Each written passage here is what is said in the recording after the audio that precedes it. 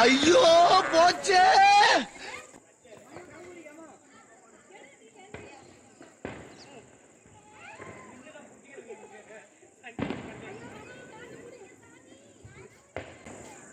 ஏன்டா இங்க போட்ட? நீ தானே தூக்கி போடுன அதான் போட்டேன். அவன்? அதுக்காக வயல இடத்துக்கு போறது அந்த புடி. புடியா